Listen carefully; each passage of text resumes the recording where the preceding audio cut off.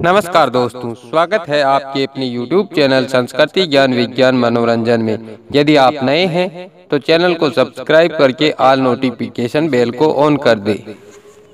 दोस्तों, देवसेनी व देव उठनी एकादशी हर वर्ष हिंदू समाज में बड़े उत्सव के रूप में मनाई जाती है।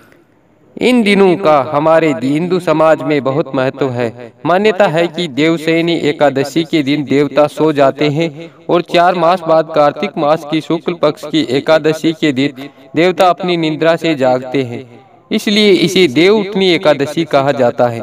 दोस्तों, एक बार युधिष्ठिर ने भगवान श्री कृष्ण से पूछा, महाराज, ये देवसेन क्या है? जब देवता ही सो जाते हैं, तब संसार कैसे चलता है?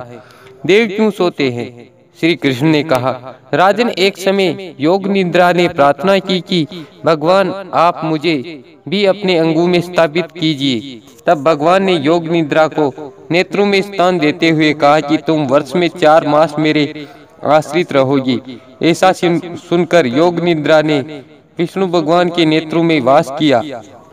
इसलिए चार मास के बाद प्रबोधिनी एकादशी को देव उठनी एकादशी और देव उत्थान एकादशी के नाम से भी जाना जाता है।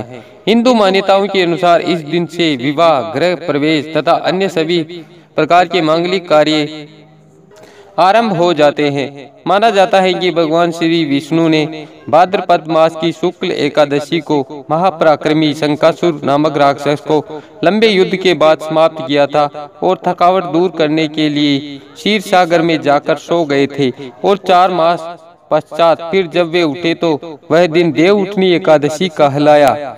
इस दिन भगवान श्री विष्णु का लक्ष्मी जी के साथ आह्वान कर विधि विधान से पूजन करना चाहिए। इस दिन उपवास करने का विशेष महत्व है और माना जाता है कि यदि इस एकादशी का व्रत कर लिया तो सभी एकादशियों के व्रत का फल मिल जाता है और व्यक्ति सुख तथा वैभव प्राप्त करता है और उसके पाप नष्ट हो जाते हैं।